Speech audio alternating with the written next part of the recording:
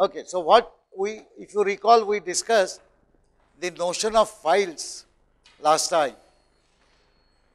To recapitulate, we have been using files primarily as input redirection or as output redirection. So basically, when we have voluminous data, instead of typing it every time when you run a program, you will edit a file and give that file as input through a redirection mechanism. Files are actually more important than that. And as a prelude to understand the importance of data in file, we will first try to understand the notion of structures. After that, we will do a very quick review of whatever simple things about files that we have seen earlier. And then we will look at some algorithms which will work on the files that we define, which contain data. More important for us will be the notion of direct access to records in a file.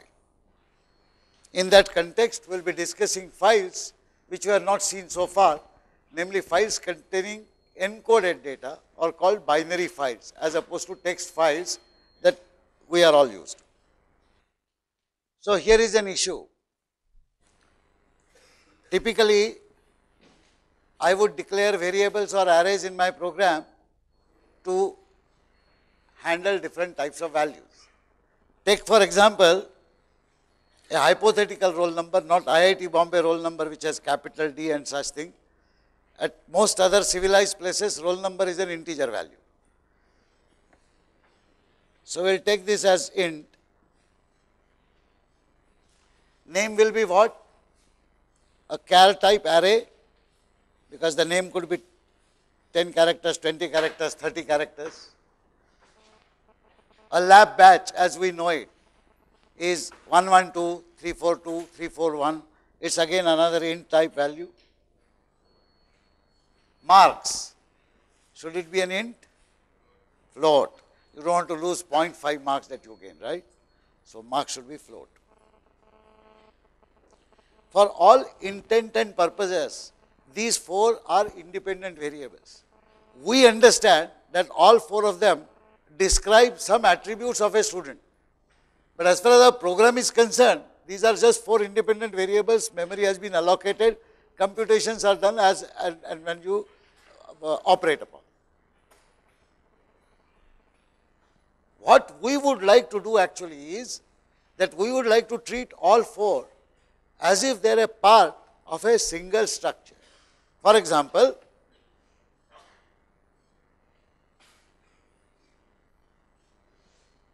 if my roll is located somewhere here, let us assume for the moment that memory is allocated contiguously, then this will be followed by my name, which would have many characters, so many, uh, assuming 4 bytes for roll, there could be 30 bytes for name for example. Then there would be batch and then there would be marks.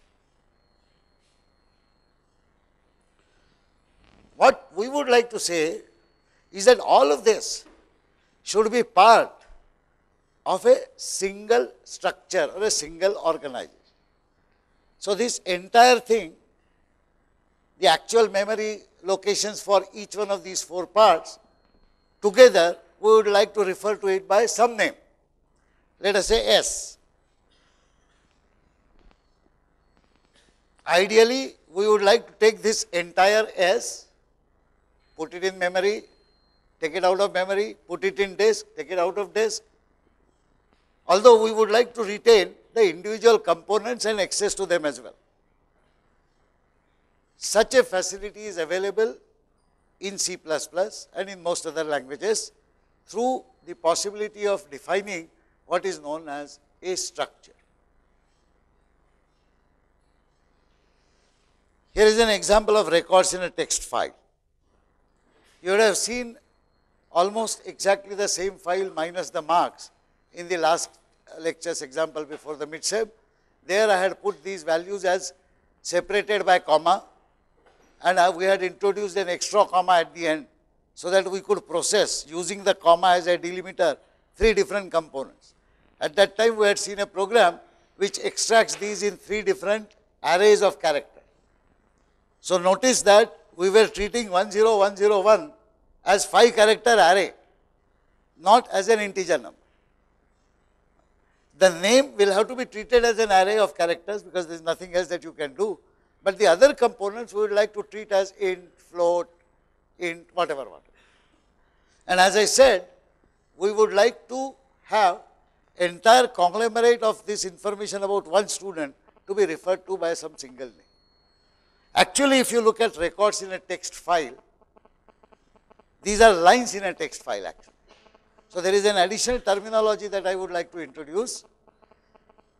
If you see each line, what does it describe? Information about one student.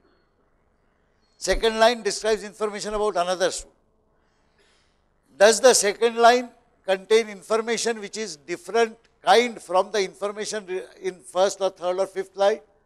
For example, first line has roll number, name, batch number and marks. If the second line contains roll number, height and weight of the student, then that would not be in consonance with whatever is there in the first line. It is very obvious and natural for us that whenever we construct such a situation, whenever we construct a text file, we would have exactly similar attributes in each of those lines. Values will be different for different students. The naming for this kind of notion comes from the world of data processing or information processing and these are the new terms that I would like to introduce.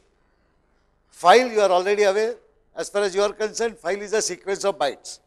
But if it is a text file you can open it, see it, edit it and so on because you see the text symbols there. In our text file for example containing the student's data we see different records. There is one record for one student. More importantly, each record has values of exactly four attributes. So, the notion of record and attributes is important. The attributes that we have here are roll number, name, batch and marks. These are called fields of a record. So, the first field is roll number, second field is name, third field is batch, fourth field is marks. In a text file that we have seen, these fields are separated by one or more blanks. Last time we had seen a notion where the fields were separated by comma. Can blank always work as a separator of the field in a text file?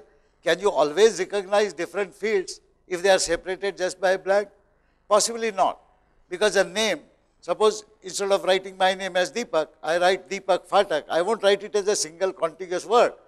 I will have a space between Deepak So, space is a natural component of any string and therefore, if any string is a field in your data layout, then that field has to be separated from other fields by some other means, not by a, not by a blank. This separation of field is a different issue. We'll, we have tackled it earlier by saying comma separated fields and so on. But imagine the other possibility. The other possibility is suppose you can predefine the width of every field. Suppose you can say that name will be exactly 30 characters long. The roll number in character form will be exactly 5 characters long. Then actually you do not need to separate these fields. You can just count the number of bytes from the starting and you know exactly where one field starts, another field ends. If you agree with this, the same concept could be implied in a file which does not retain data in text form. Suppose I have an internal representation for int followed by an internal representation of float. You all know that internal representation of int takes 4 bytes, internal representation of float takes 4 bytes. Suppose I wrote these two fields one after another in a file, in a record, containing internal value of int representation, internal value of float representation. It will still be valid because if I read 8 bytes, I know first 4 bytes are these, next 4 bytes are these. Of course, I can't read them using a normal text editor and so on because these will be internal.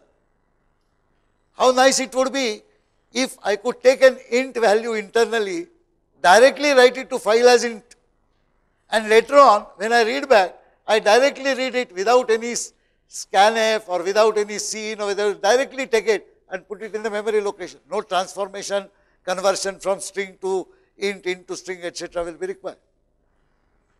The binary files which I mentioned, one of the things which they do is they handle data in such a form. However, coming back to the nomenclature, I would like to introduce one more term which is called metadata. You saw the file, let us go back to the previous slide. This slide has actual data. This is the first uh, roll number, second roll number, third roll number, fifth row, etc., etc. Of course, you will call it uh, one record for a student. Each record has four fields. The fact that record has a name, each of the fields has a name, and each of the field has a characteristic. Roll number is an integer value between this range and this range. If you recall the midsem exam, example, we had seen an account number was stipulated to begin with 1, a customer ID or whatever, account number was stipulated to begin with 411, etc. So, some of the characteristics. The description of these names of fields, name of the record and characteristics is called metadata. The word meta means data about data. So, metadata is a description of what is the record layout, what are the different fields in that record, what are their characteristics, etc. What is the metadata for us? The name of the record and the attribute names.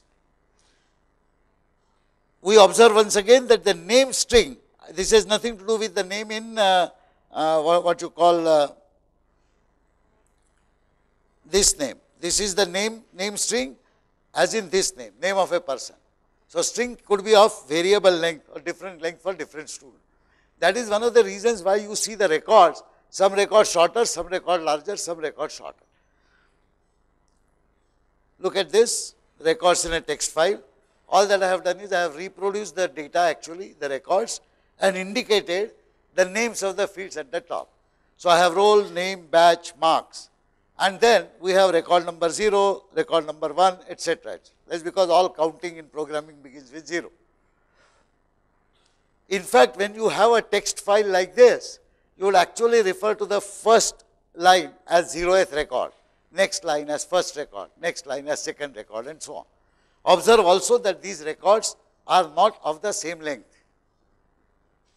What could be the advantage if they are of the same length? And what is the disadvantage if they are not of the same length? Imagine an array that you declare, let us say array of int or array of float. Each element of the array is of exactly the same length as any other element, 4 bytes for example for a float. So, suppose you have named an array A, then to go to any element of that array, say ith element, you say AI. And we had seen already that the position of AI can be quickly located by C++ by using the base address of A0, adding that i to it and saying, okay, this is where the ith element must be. This calculation could not have been done if different elements were of different lengths. Then you won't know where the ith element is unless you sequentially look at each one. So, the advantage of a fixed length information is great when you organize several of these whether you organize them in an array in the memory or whether you organize them as records on a disk. The advantage could be same. We do not know about this as to how even if a file contains records of fixed length, can we like we say AI equal to something or P equal to AI, can we say get me the ith record from the file directly? Do not have to scan sequential. The fact is yes it can be done and that is the reason why whenever you have to maintain meaningful and critical information on the disk, you generally do not maintain it by varying length records. You maintain that in fixed length records. The point is that suppose this is 0th record, this is first record. If they were exactly of the same size, say 100 bytes each. Now suppose these 100 bytes are written on the disk, 100, 100, 100, 100, 100. And suppose I told you that on a disk, you can directly say, go to 500th byte. Now, if the records are fixed length, when you say go to 500th byte, you know you are going to the beginning of 6th record. Whereas, if the record lengths were different, there is no way you can connect a particular position of starting of a record with any pre-calculable value. and the comparison I made was with an array. The fact that you can say AI and the computer can quickly go to ith element is because each element of the array is exactly of the same size. So, starting with the base address, you can calculate what would be the address of AI. That is, that is the point I mean. Structures in C permit us to do two things simultaneously. One, they permit us to collect different pieces of information, typically attributes of an entity, fields of a record, put them together and they permit us to give a single name to that conglomerate. Second, such a conglomerate is always of a fixed length, which will help us later on when we deal with records on the file. Struct is the keyword that is used. This is useful in representing entities which have many attributes of distinct types. So, suppose we wish to handle this say roll number, name, hostel, sorry, there is a, there is a syntax error here. What is the syntax error? I have roll and name, but not hostel and room. This is what I originally started with. The first one is batch and the second one is marks. Now observe what C++ permits us to do. It permits us to define a new data type. Just like int, float, it can define a data type which we are calling here student info. Student info is not the name of a variable. Student info is name of a new data type which we have defined. It does not exist in C++. And we are saying this new data type is a structure which has the following components. The components have names. So, I have int roll, char name 30, int batch, float marks. See the way it is defined here struct student info opening curly bracket, four components with their own individual types and names, curly bracket closed. There should be of course a semicolon at the end. So, this is the definition of a struct. Now, having done this, I can define variables of type struct student info. So, the type name is not student info, type name is struct student info. Just like int, float, struct student info is a new type. As opposed to the other types int, float and char and other things that we have seen, which are incidentally called native data types in C++, these are called abstract data types. Later on we will see when we discuss the object oriented programming concepts, you can take this to a larger extent where you can define what we call user defined classes or user defined types and you can build upon types of types of types etc etc. So, you get a lot of powerful expression features, but currently we will limit our discussion to this. Note that a struct definition itself does not define any variable and therefore no memory is allocated. For example, int has no memory allocated to it. Int x has memory allocated to x because x is a variable. Similarly, struct student info has no memory allocated to it. It is a structure. It is a new data type definition. But if I define variables like this, struct student info s, now s becomes a variable of struct type. And when s is a variable of struct type, then automatically memory is allocated. How will memory be allocated? Two important facts. Memory allocated to structure is always contiguous, like array elements are contiguous. No confusion there. This is ensured by C++. That means the first 4 bytes will contain what? Roll. The second 4 by second how many 30 bytes or so will be name.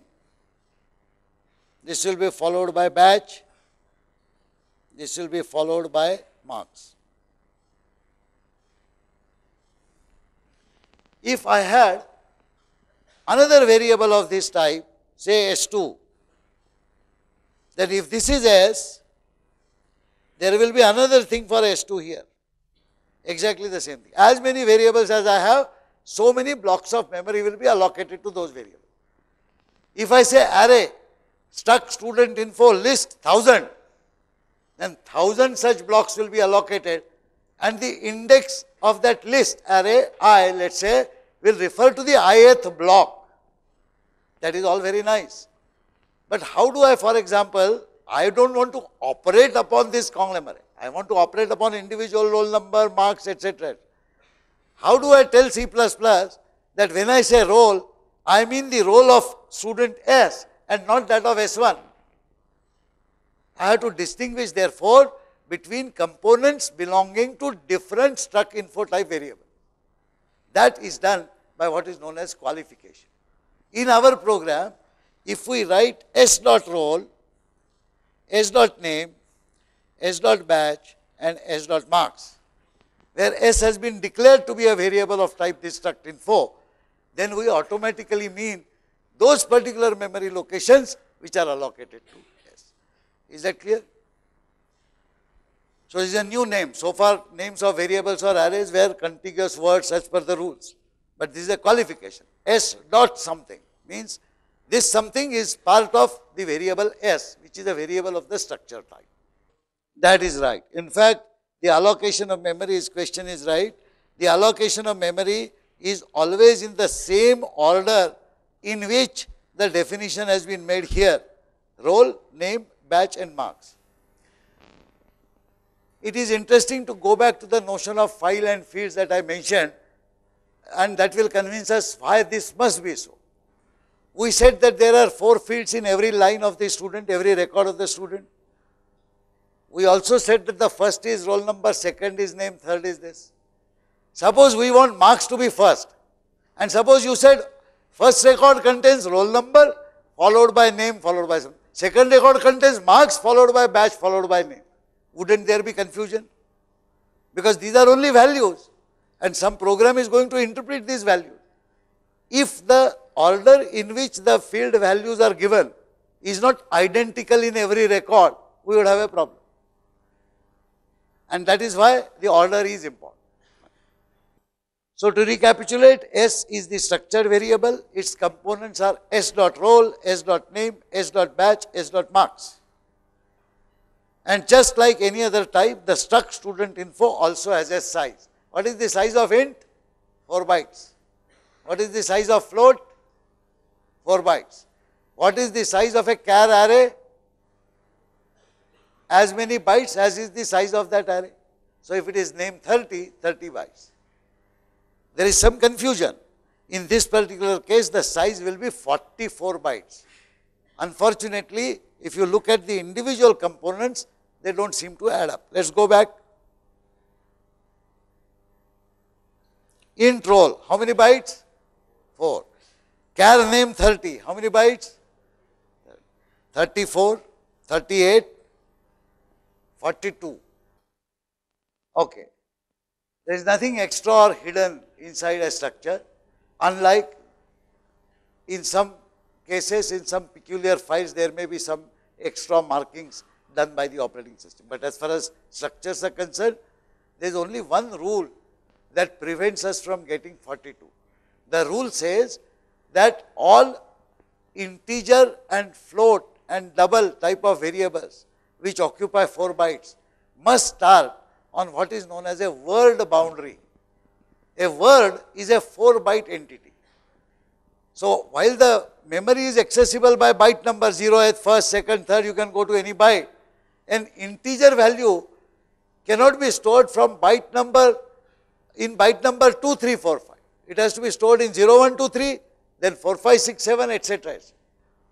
Notice that the first element was int, which was, which was occupying the first 4 bytes. The next is a character array which occupies 30 bytes. 30 plus 4 is 34. At 35th byte, the next integer value cannot start by rule. It has to start on the next boundary meaning uh, an address which is divisible by 4. Consequently, 2 extra bytes are wasted in that structure, but those bytes are part and parcel of the memory allocated. If you ever write this structure on the disk, those 2 extra bytes will get written. What will they contain? God alone knows. That is because we have no access to those bytes. We can only access the components of the structure variable that we have defined. So, those two bytes are extra bytes, these are called padding bytes, but this padding is not blank or any such thing, they are just two extra bytes allocated by C++ because of this rule. That is how you get the total number of bytes in this particular structure as 44 and not 40. You can guess that in any structure, if you have a single int or float element, the total size would almost always be divisible by 4, provided this such element is at the end. If at the end of a structure you have these variable length or, or, or arrays of char, then there will be only 30 characters, no padding is required because there is nothing else that is to come later. Okay. Here is the declaration and the way to find the size of structure. So, after you are include IO stream using namespace std etc., you will say struct student info, int roll, char name 30, int batch, float marks and then when you begin your main program, you can say struct student info s. It is not necessary to define structure outside the main program. You can define it inside. There is a reason why I am defining it outside and it, the reason will become apparent. You can define it outside. In fact, as I had once commented, you can define these structures in a separate file. And just as you say include IO stream, you can include, you can say include structure.h. So, there is a separate file in which I have defined this structure. Mr. Compiler, before compiling, include that file as text, put it inside and then go ahead. That is possible. Anyway, this is the way I define a variable of type structure student. Suppose I have defined an integer variable rec underscore size to get the size of this structure variable. Please note that all variables will be of the same size and the size of that type is what will apply. To get the size of a type, what is the function that we use in C++? It is called size of. So, whenever you say size of int, size of float, size of this, we have discussed this in one lecture, you can get the size.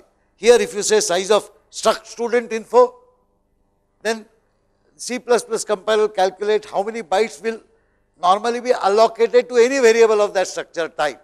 That is the type and it will give you those many bytes. That is how we get rec underscore size. If you print it, it will be 44 bytes in this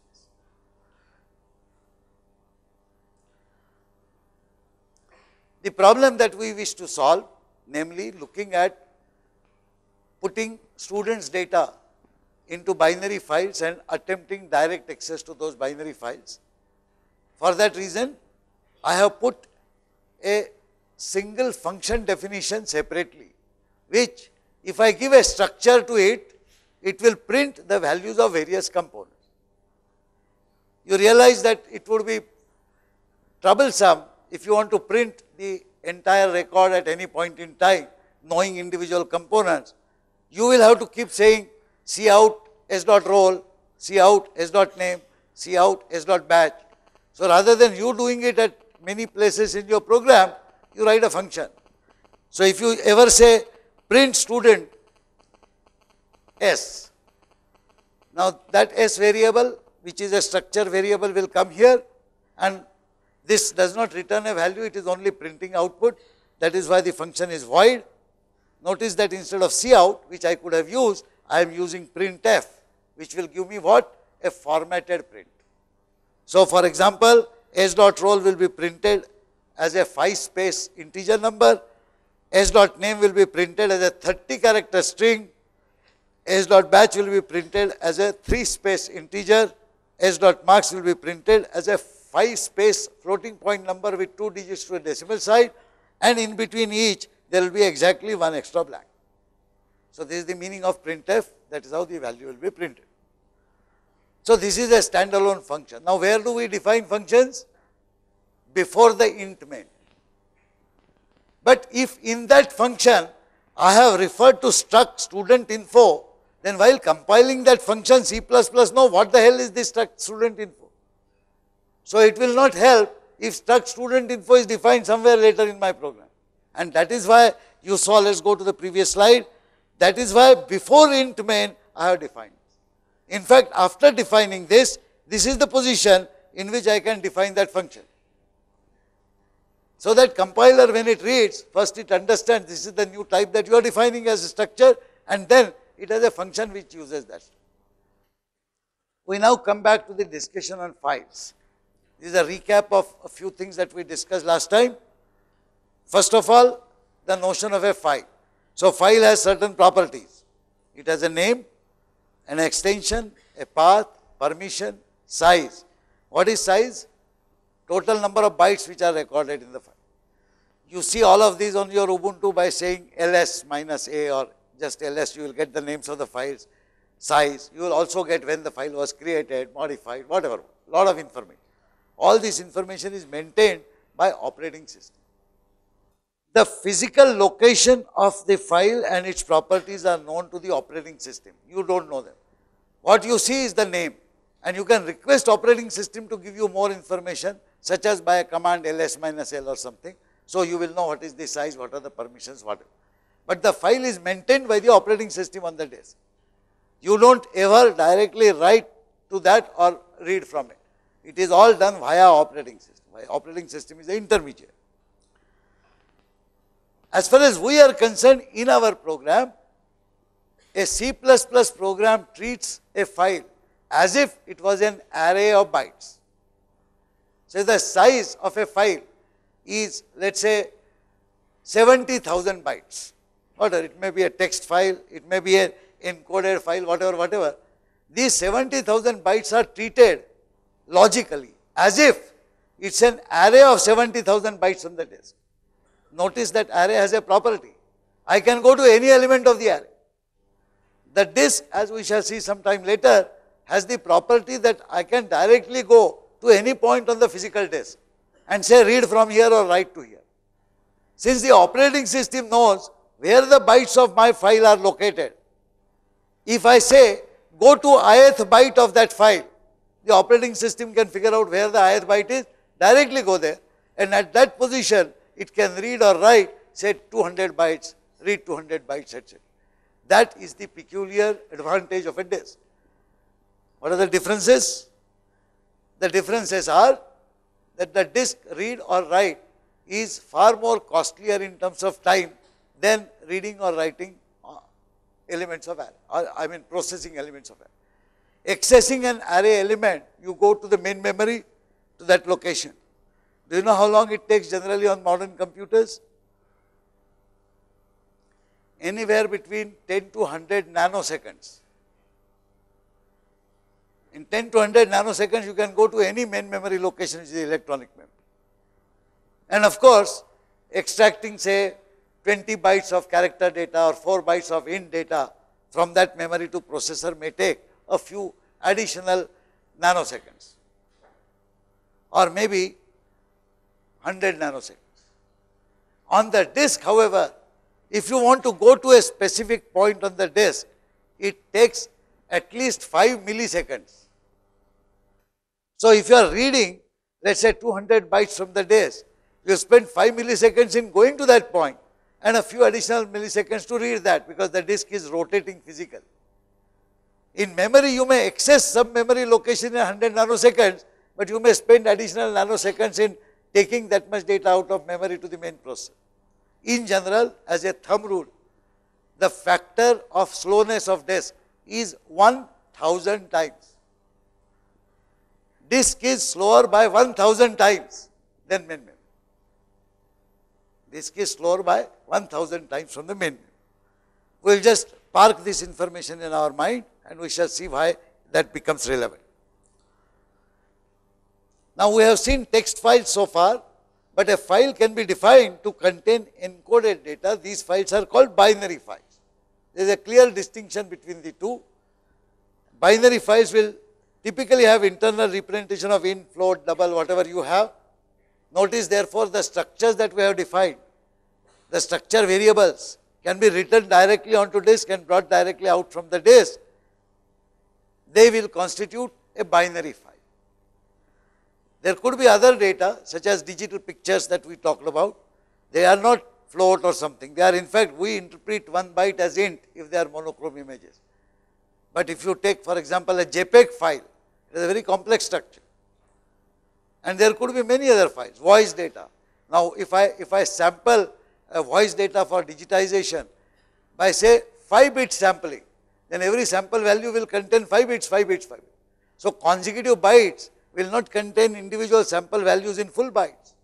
So, I may have to take all the chunk of bytes and internally say, oh, these first bytes, this value, next 5 bits, sorry, bits, this value, etc. All that is possible. Anyway, in a nutshell, files are either text files or binary files. Now, this is what is important. How do you handle a file within a program? We had seen this last time. It is important to understand this concept absolutely clearly. A file is handled through a file pointer.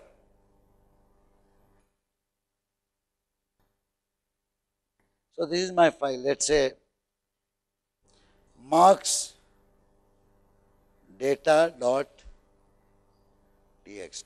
This is one file. There would be hundreds of files in the disk. I want to open this file, read bytes from it. In my program, how do I refer to this file? Do I say my uh, mdata.txt? No, that is the name given by the operating system. Insofar as C++ programs are concerned, this file will be referred to by a special data type called capital F, capital I, capital L, capital E, file. It is a special data type. A pointer to that special data type is the effective name of the file inside our program. Effectively, if this is your memory there will be operating system somewhere here which actually will do the job of IO and this is your program let us say C++ program. Then inside this program you will define a file pointer by saying file star FP and this FP here is effectively the name of the file as far as you are concerned. Of course, your program FP does not know that it has to be associated with mdata.txt.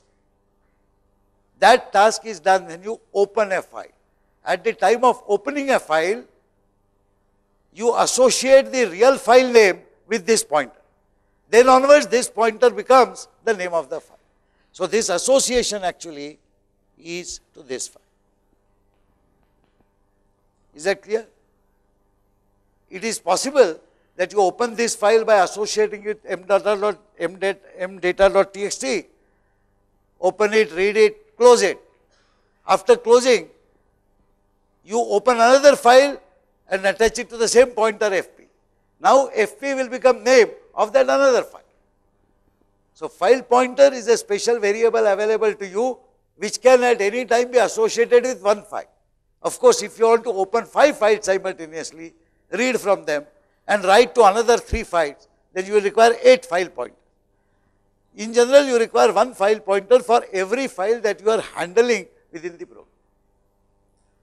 So, is this definition clear? File star FP. Please note it is called a pointer, but this is not the pointer which points to something or information within the file. That is not the object. This pointer points to the file. So, this is effectively name of the file. Of course, this alone is not sufficient because we said that a file after opening I may want to read and I have an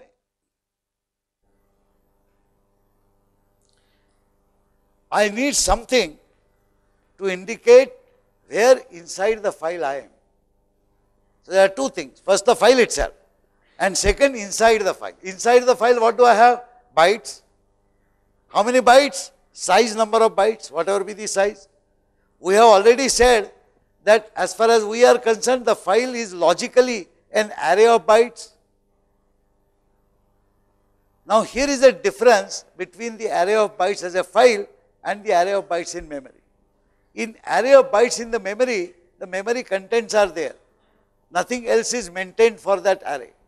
We, when we say AI, we are saying go to ith byte, if it is a char Inside a physical file, however, whenever a file is, file is opened, since the file could be read sequentially or could be written sequentially, where exactly you are inside the file at any moment has to be known to the operating system. For example, suppose you have read one record from an input file. Next time when you just say read again in a iteration, does it read the same record again? No, it reads the next record. How does it do that? Because the operating system has to maintain, Baba, this fellow has already read these 44 bytes. Now it will read next will be 45th byte.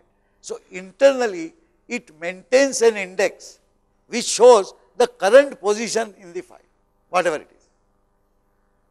This position is automatically incremented whenever you read something by as many bytes as you have read or is automatically incremented when you write something by as many bytes as you have written.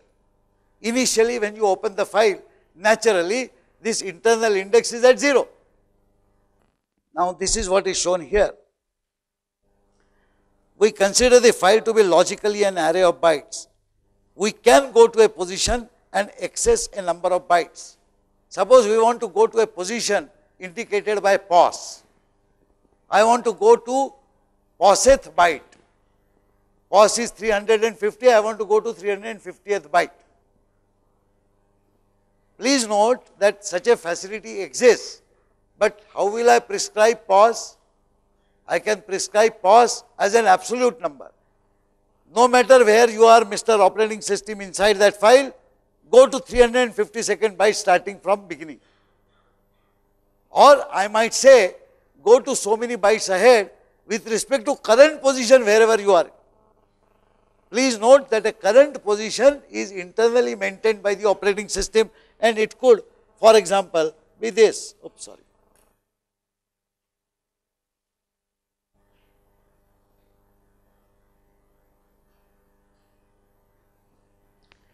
Normally the so called current position is not visible to you.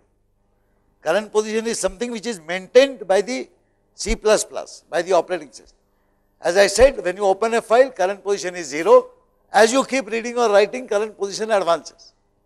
But it is possible for you to set this current position here or there.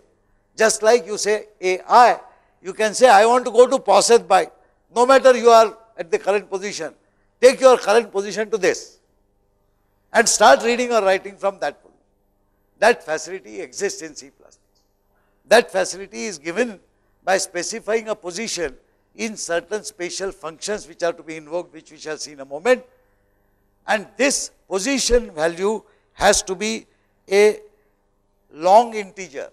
It cannot be a normal integer because integer is not sufficient often to define all the number of bytes that can fit into a disk. Please remember disk has a large size. I might have a very large disk file and I should be able to specify an individual byte number in that large size. So, generally the position point position value or position variable that we use has to be a long. The function fseek sets the position indicated by POS. fseek is a special function. In fact, just like you have seen cin and cout or printf and scanf, whenever you deal with file, last time we saw which functions? fscanf and fprintf, right? Today we will see additional functions fread, fwrite, ftell, fopen and fclose you know and fseek. Of these fseek is the most important. fseek can be used to prescribe where you want the next read or write to happen. So, you are sort of seeking a position in the disk. That is why the word seek. In fact, the technical word, whenever the disk arm is moved forward or backward to go to the right track on the disk, is called the seek operation. That is why the word fseek has come. Now, this pos is a displacement value specified relative to either file beginning, current position or end position. File beginning is this, current position is this, end position is this. So, in my fseek, I can say pos, which is say 500, it could be with respect to beginning position which means absolute 500 byte. If I say 500 with respect to current position, then it will mean current position plus 500. If I said 500 with respect to end position, what will it mean? No, it will mean go 500 bytes beyond the end of the file. It is like if you travel 500 kilometers west of Mumbai, you will fall into Arabian Sea. So, obviously, if your relative positioning specification is seek end, that means end of the file, the pos value should be negative, otherwise it will not be meaningful. Whatever the value of pos you specify, it is always added to either the current position or the beginning position or to the end position. If you happen to by mistake go beyond end of file for which there is a special indication called EOF, capital EOF, then you will hit error and you will get an EOF. Now, the fread and fwrite which are specified, they will read or write so many bytes at this position. How many bytes? We shall see those functions in a moment and we shall see how read or write happens. Please note that any time a read or write happens, whether it happens due to fread and fwrite function calls, whether it happens due to fprintf and fscanf function calls, or in your stdin where you have redirected a file, it happens due to cin or cout. The internal position is automatically advanced by so many bytes. Here are some file processing functions that we will discuss. fopen, you are familiar with this. Notice in the context of today's discussion, fopen is a mechanism to give our own name to a physical file and that name will be a file pointer. So, when I say file star fp, I am defining a file pointer and when I say fp is equal to fopen my data file dot text comma r. There are two parameters here. One is the name of the file as is known to the operating system. So, I am saying look Mr. Operating System now onwards whenever in my program I say FP please remember I am in that file. And how is that file to be opened? Because I can either read or write to that file. I am opening that file to R meaning read. R stands for read, W stands for write and A stands for amend, append. Append means uh, add something.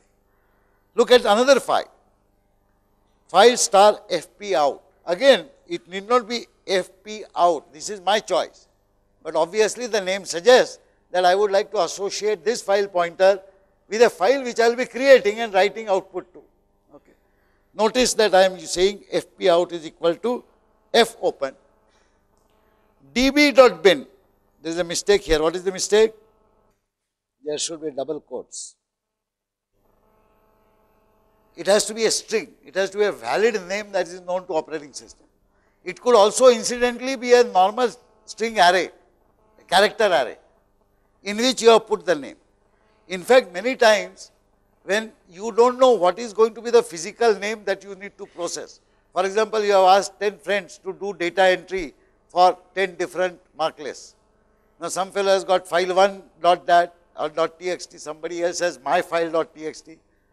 Now, you won't every time change a program to read that file.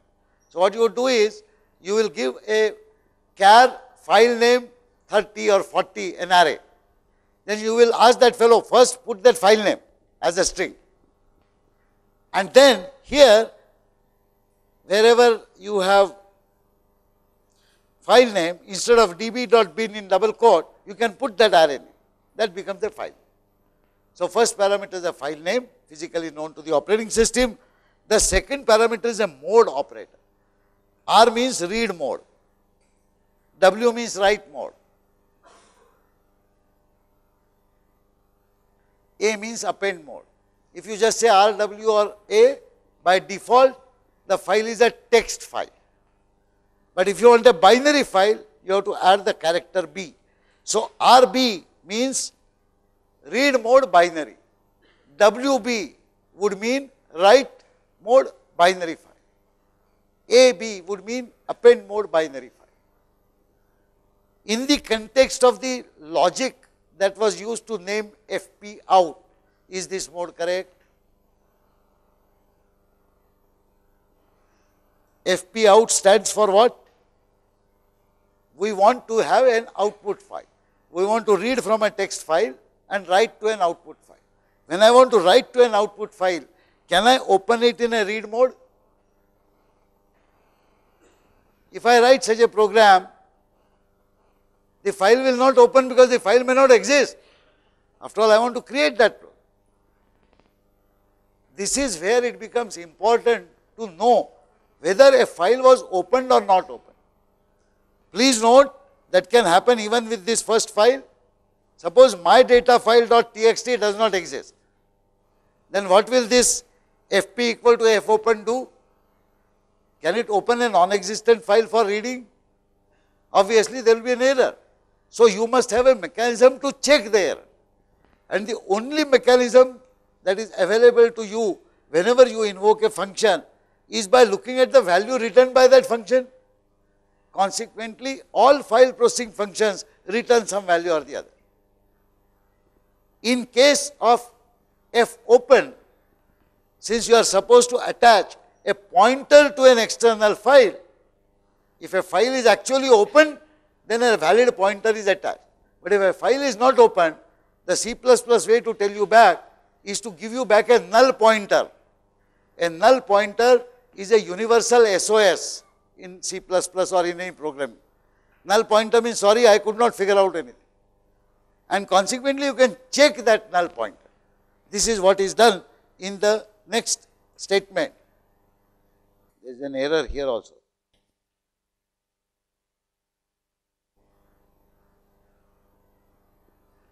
If fp equal equal null, notice that fp was the file pointer sorry fp out because you assigned a value of return value to fp out which would have been a valid pointer. If that pointer is null, the file was not open. That is why you see the statement if fp out is equal equal null, then cout cannot open output file. So, I cannot carry on. In fact, immediately after this, if my entire program was about creating this file and operating about, about it, I should better say return minus 1 because I could not open the file. I should do same thing with every file that I open. So, consequently, the first set of statements which are shown here are not very well written. I am just saying star fp, fp is equal to fopen my data file. I am assuming that the file exists. There are so many possibilities. By the way, the file must exist in the current directory where you are at the moment. Suppose you had created the data file in lab 4 directory. Today you are in lab 5. You write this program and run it. In that directory, you will not find that data. So, the system will bomb, the program will terminate. And it is better to check if fp equal to null, then give some error and get out. Here is the specification of a desired position. In fact, at this stage, I would like you to look at the page 2 of the handout. Page 1 you can read, it is a more general conceptual thing, but page 2, page 2 describes several major functions which are used for file operations. You want to go to a certain position on the disk. Now, you have opened a file and you want to specify that I want to perform read or write operation at this particular place. You remember we had actually described this fseek somewhere else earlier. So, what is the format of fseek? What is the first parameter? Please read the fseek. It is the yeah file pointer. So, let us say I want to specify repositioning of the file pointer fp. What is the next next parameter? The position. I will typically have described long int pos or simply long pos and I would have said somewhere pos is equal to something, let us say 1200. So, pos has a numerical value. The next parameter is pos. Ordinarily, if I stop here, I should automatically mean go to the poseth position right from the beginning. But since C++ permits you to define three possible points of origin with respect to which the pos can be prescribed. So, here you can say, for example, if you want to specify that passes from the to be counted from the beginning of the file, what will you write? Sorry?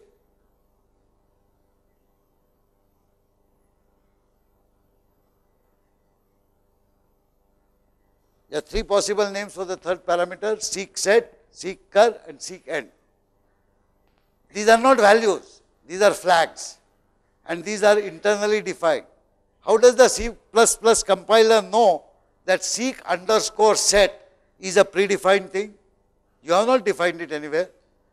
It knows it because you have, you have to say in your program, just as you say include IO stream, you have to say include C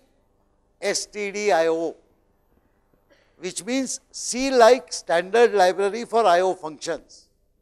When you define that, all these, these are called macros, seek set, seek they all get defined. In fact, seek set is defined to be 0, seek cur is defined to be 1 and seek end is defined to be 2. If you print the values of seek set, cur because these are well known values, you will get 0, 1 and 2. So, obviously, you are not going to add 0 or 1 or 2 to anything. These are only indicators. If it is 0, whatever is the internal pointer maintained by the by uh, uh, internal index maintained by the operating system, that is to be treated as the starting point for counting or the beginning has to be treated as starting point of counting or end has to be treated. That is what is stated. Pos will not be negative. Pos is a value which you are setting. Pos is not a value which the internal system knows. If pos is positive and if this is seek end, then the file will attempt to seek a position which is way beyond the end of file. It will apply this non-intelligently. So, in fact, it is a good point that is what I have explained. There I have said a word like origin. So, this origin can be either seek set or can be seek end, right? This is what you are saying. The formula that is internally used is very simple. Whatever is the origin, that plus pos.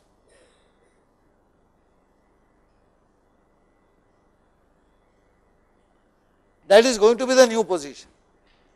If origin is the beginning, that means it is 0, then 0 plus pos. If origin is at the current position, then whatever is the current position. Suppose you already traveled 200 bytes, it will be 200 plus this. You have traveled 500 bytes, 500 plus this. It may so be possible that you have traveled almost towards the end of the file, you have not reached end of the file yet, but only 20 bytes are remaining. So, even if you say set cur, you may still go beyond the file limit. That is your problem. 99 percent of the times you will be specifying an absolute value We relate you to 0th. But there are squiggles where it is easily possible. For example, you want to traverse backward in a file. How could you do that? You say seek end minus 20, seek end minus 100, seek end minus 1000. It will do a numerical value. So, is that clear?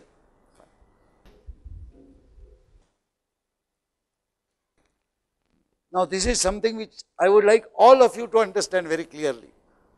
Internally, whenever you open a file, the operating system maintains an internal index which knows where you have to do the next operation. At the beginning, it is at 0. As you read or write, the index will advance. Okay. This internal index, the only way to set it to a different point is fseek. There is no other way. However, you may want to know where the exact index is, whether it is at 500th byte or 200th byte or 753rd byte, you do not know where it is because it is hidden from you. There is another function which will tell you that index value and that is called f ftell.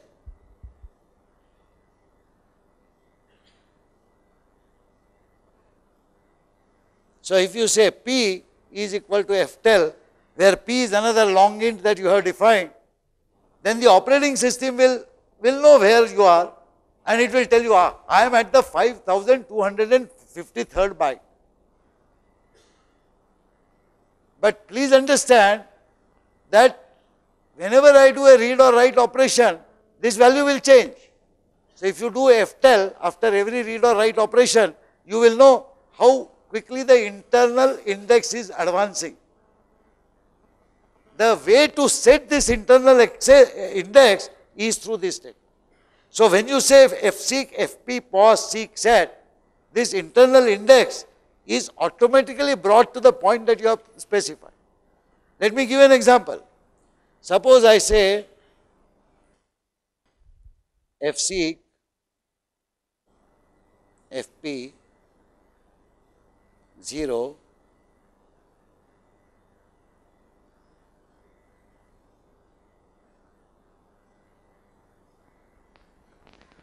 What it means? Suppose the current internal index is somewhere here, the system will be forced to bring it all the way back here and it will be positioned at the beginning. So, to find out where the internal index is, you use ftell. Ordinarily, that won't be required. That is required, you know where? I am at a certain position. I say ftell I capture that in P and keep it with me. Now I do some read write operations. Later on, I want to go to that position itself. Unless I have captured that position and kept somewhere, how will I go to exactly that position? I can then use this P to set the in internal index by another fseek command. That is the objective. Now there are many squiggles which are possible, but these squiggles are non-essential for normal programming. Normal programming follows some simple principle. So, let me initiate that principle and then you can later on read those programs and understand more about it. The simple principle is if I want to read or write sequentially, I open a file and keep reading or writing. Automatically the internal index will move as I read. Of course, it is my job to read or write the specified number of bytes which we shall see in a moment. If I want to directly access anything, I must use fseek followed by read.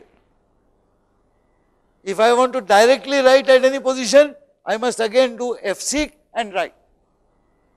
So, the logic is very simple for sequential files, I keep reading, reading, reading or writing, writing, writing. For direct access file, which I may want to read and modify, I must fseek and read. I must again fseek and write. Let us see that after we discuss the read and write state. Reading from a specified position.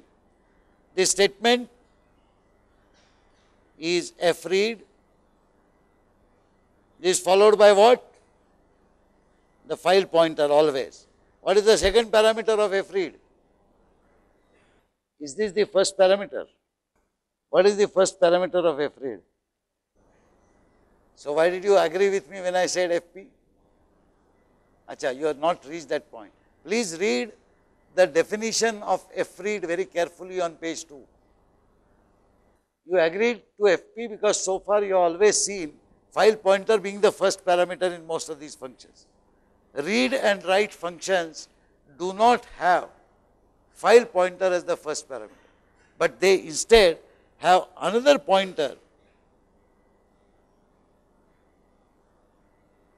Remember the student record as either I want to read from the disk as many bytes as are describing that student record and put it in S or I want to take whatever is inside my memory S and put it on disk read or write operations require a source and a target. In the read case, the source is disk file, the target is somewhere in the memory. You have to specify both. That is why only file pointer is not adequate. File pointer of course is required because that will describe the source in case of read and target in case of write. In this particular case and S is the first parameter which becomes the target. Whatever you read from the file please deposit it here and that is why the pointer and S. It points to the entire memory structure of S. This is followed by what? I will call it record size because I am talking in terms of record. So, if for example, you are putting 44 bytes structure, this will be 44. Okay. This is followed by count. How many records? So, rec one record of 44 bytes, notice that it is possible to read 20 records at a time. However, if those 20 records are put in a single structure variable S, you will have huge problems. Because there is only 44 bytes allocated to S, there is nothing more. The point is that this pointer and S need not be a pointer to a structure. It can be a pointer to an array of 1 million bytes, just a block of bytes. And you can say read 10,000 bytes from the disk and put them in the 10,000 position here. That is all possible. That is why this is a general statement. In general, whenever you are doing a file processing involving information about entities, this count will almost always be 1. Almost always be 1 because you are reading one record at a time. If this is not 1 and something else, then the pointer as the target must be appropriately set. The last of course is at what point this read will occur? whatever is the internal index or whatever you have done fseek earlier. fseek would have said that. So, you will read from here. Please note after executing this statement that internal index will automatically advance by so many bytes. Suppose there was a student 10115 and his records was somewhere here at this point and you read this record. Now you want to modify the marks of that student and rewrite that record. Can you just say f read this followed by f write? No, because if you did f write, f write will write here now because the index has automatically moved. So that is why invariably you will have a series of statements f seek, f read, again f seek, f write.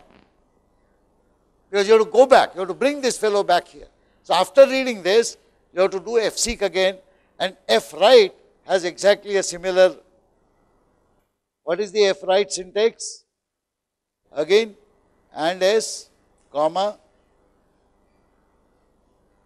rec size, comma, count, comma, no difference.